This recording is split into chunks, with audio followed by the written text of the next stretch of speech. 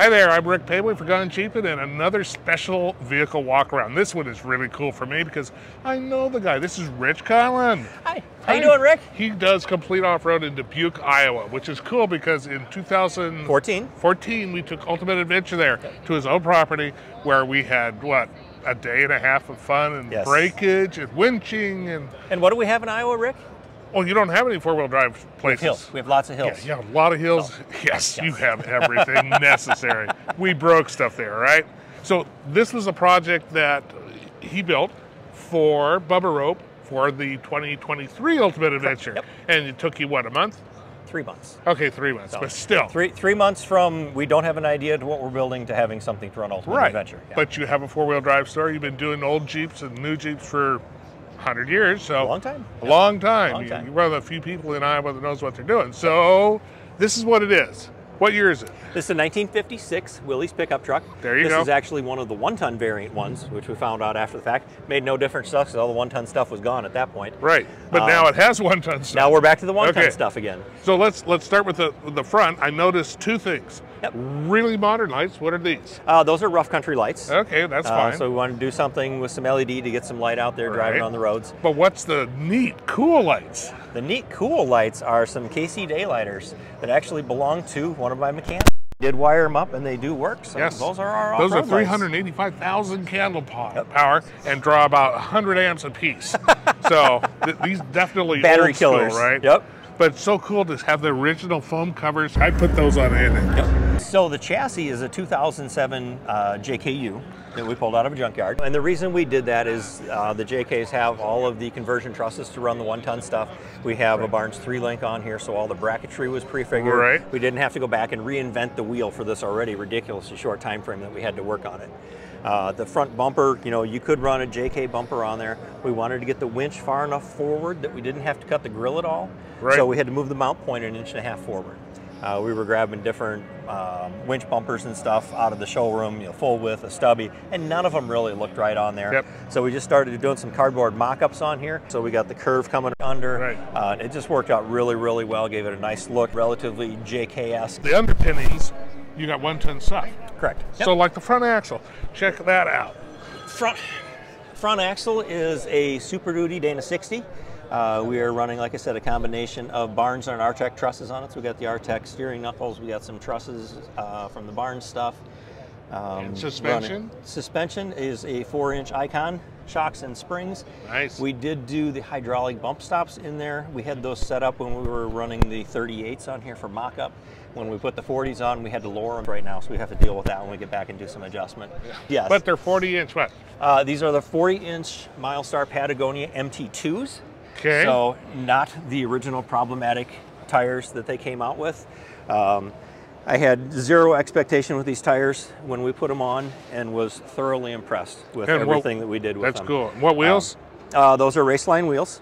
Raceline. We had uh, local good. Uh, Greenfield Customs, local powder shop company in town. I called him. I said, "Hey, I want some dirty white wheels. I want them to look like some old wagon wheels." Yeah, And he messed perfect. around for quite a while, playing with different colors and stuff, and trying to figure them out. I think he absolutely knocked it out of the park Yeah. on those wheels. Yeah, they really, really it's look supposed good to on look that, that, way. Exactly. Right. All right, so you have the stock cab, stock body, but it hasn't been repainted. This is original patina, right? This is the original patina for this truck. So this truck didn't come with the tailgate, but I did find a green tailgate for it, which is really close. So we ran That's with that. nice. Um, the rockers that we made, we had to try and patina to match. Same thing with the roll bar in the back. And then Yep. really the only paint on the outside that you see uh, on the body is the rear fenders. So we had to stretch the rear fenders nine inches Again, so to it's be able to- proportionate with the with to the be able to cover the 40 inch tires. Yep. Um, and when we did that, that took care of the issue that we were looking at that the wheelbase of the pickup truck and the wheelbase of the JK are about two inches different.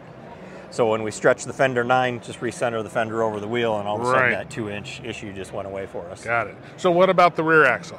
Rear axle is a GM 14 bolt uh, out of a later model. So we got the disc brakes on it. Um, running Yukon gears front and rear. We got an ARB air locker in the 14 bolt, a Yukon zip locker in the front. What ratio? Uh, 538s, I believe. we did on 538. Yeah, that's Yep. about right for Yep. for those big old big old tires. Yep. And this is your gas tank. Yep. We got a 15 gallon CJ gas tank up in there using an MTS uh, Wow. in-tank pickup and return, running a Holley Terminator system to run the 5.3. Uh, built the skid plate on there, Yeah. got the backup light integrated into the skid So plate. your shop built the axles too, right? Mm hmm Yep. Yep. And all the skid Nice plates in the frame, and we had to cut the rear frame at the wheel arch to pull it up to be up with the Oh. back. Look at that. Yep. It's hard to find a matching tailgate. Yep. And then, of course, you look at it, you did great on this. And then the original over here to your right, that's the thing of beauty. And we Yeah. got we got Dinky's collar, which came on here. Oh, yeah. So, for uh, sure. Mm-hmm. the taillights are actually Model A taillights that we found. Uh, sitting at the desk in the shop one night having dinner, looking for something different. Um, And then you say- and these just popped up, and it was like, yes, those are the ones. Those are the ones. Yep. They- so they- we built a little little cage around them just to protect them a little bit. Um, yeah, on Ultimate Adventure, that is a light grabber, yes. sort of like on my trailer. Yep. Yep. Yeah. And then we had to build the, the fuel neck to get the fuel fill higher than where the tank was sitting once we pulled it up to the bottom of the box. So this mushroom whirl bar, which Yep. is popular in the 70s, Yep. you guys make that? Yep. yep. Custom made that. And Um, period correct. Yep. The reason we did that is we wanted to make these uh, hooks on here Yeah. so that we could display the Bubba Gear product on Right. the truck As well the as entire- use it. well, the entire time. So we had another set that we were actually using for Oh, recovery, really? and by doing that, every photo that this truck is in has the product on the Right. rack yet being displayed, along with being used. Sponsored by Rope, yeah. Yep. Yep. And this giant orange rope. The giant orange rope is uh, their new show rope. Uh, it's all non-functional. It's only got a loop on one end. Uh, Jim wanted something that was a little bit bigger. They used to have their uh, Python rope. They would take the red, white, and blue one. Super cool rope. That was like 360 some thousand pound breaking strength. Uh, this one is a million, A million pounds. pounds, Yeah. So Yeah. No, we don't it's, need it. It's big. It's ridiculous, and it's really, really cool.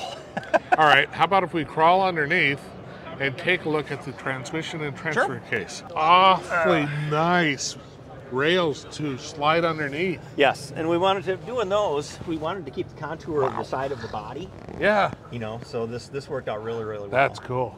So all of our body mounts and stuff all go down to the frame. We're not reusing any of the factory body mounts. So the cab is basically hard mounted to the frame. Right. And then that is also the roll cage mount for those as Oh, well. that's perfect. So basically, you don't have a transfer case. Yep, it's hiding up here. It's just a it's an old 241 manual linkage Yeah. transfer case.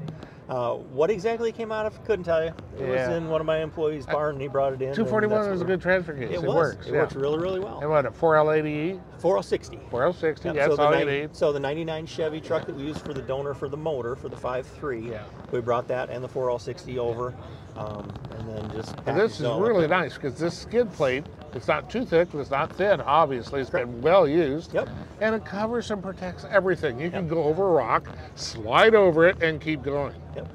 And even after that, your drive shaft is really high. That's We nice. kept, kept the drive shaft high. We did the pinion support down there for the 14 bolt because they're Oh, yeah. for grabbing rocks. Oh, that's pretty cool. All right, let's get up and do our monkey bars. Take a look inside. All right. that, that's where you guys live for a week. Yes, we did. Couple more inches of legroom would have been nice, but other than that, it worked really well. Um, the floors, we did put new floors in it. We did have to build a new tunnel for it because those were all rusty. Um, once we sandblasted to get it ready for paint. But we got the rhino lining on the floors. We did the rhino lining in the bed. Um, we did the Summit brand of sound deadener, similar to the Dynamat, on the roof, behind the seats, and in the doors, um, up in the up in the A pillar area across the cowl to try and keep the noise down Just enough to take the edge off the that noise. little tinny noise off of everything. Yep. Uh, we got, a got rad, the- rad design shifter running the 4L60E. The steering column is just a generic Summit, um, you know, hot rod steering column that we stuck in. Uh, Crosley Garage made that really nice aluminum gauge bezel on there. So the 56 Willys had the cool rectangle gauges, but we couldn't find replacements for them. The ones I had were really roached, and also that bezel that went around them wasn't in the best of shape. But I Yeah. like the idea, so we went with that Crosley Garage uh, retro bezel, and then That's just really uh, a, a kind of a cool thing. Yep. It looks kind of factory. yeah, yeah. It's, it looks very similar. Yeah, know, you and I know accepts- it's not, but Yep. Yep. And It then works. Just, and then just some autometer gauge Yep. cluster to put in there. and I like the fact that you left all of the factory doors. So those are actually so in the pickup truck, the seat would fold forward and you'd access that Right. storage from on top.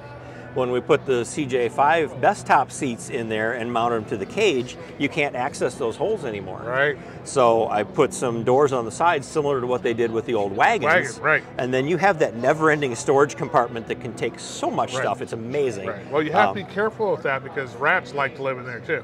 Oh, it'll never be. It's a- it'll never be in a rat spot again. so it's not going back to the woods. it's not going back to Or the woods. parked outside? No, no.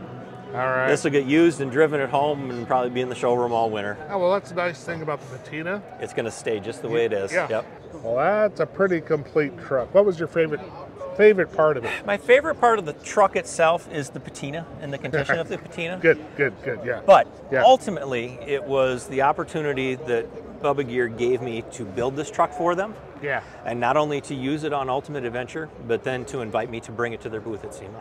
yeah, that's cool. I mean, anytime you get into an inside in a Exactly. SEMA booth. I, cool. I honestly never thought I would have the opportunity to be inside at SEMA. All right, so tell me what's under the hood. Under the hood is the same as everybody else, a 5.3 LS. Uh, as you said, it's the equivalent of the old Chevy 350. Uh, it's out of a 99 Chevy pickup truck. It's the same donor truck that we got the 4L60 uh, transmission out of.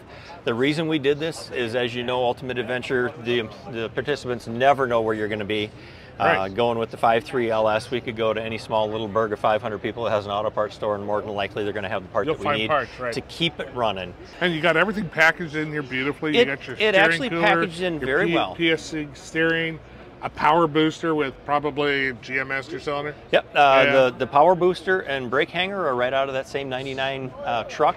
Wow, the, that's awesome. The master cylinder is actually out of a one-ton dually two-wheel drive truck. So that's the There inch and a half dual stage. Right. Um, So it's got the big bore. Yep, it's got the and big look, bore. you got your air clear way up here, so you could do that's four feet of water fording, yep, no problem. yep. And then the upper fan shroud is actually just a trimmed down fan shroud from that same donor Looks truck. It, factory. it's- it was factory. It, well, worked it out, it worked out really well. Yeah. Yep, that's So- cool. And you, converted to electric wipers. Yes.